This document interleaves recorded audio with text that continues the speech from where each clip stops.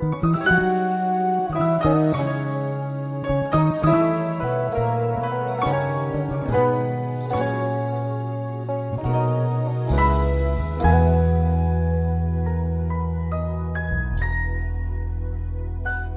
loves me and gave his life for me.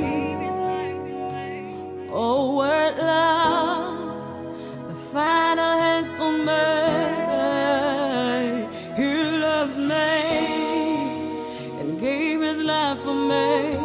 Oh, I now live through faith in Jesus Christ.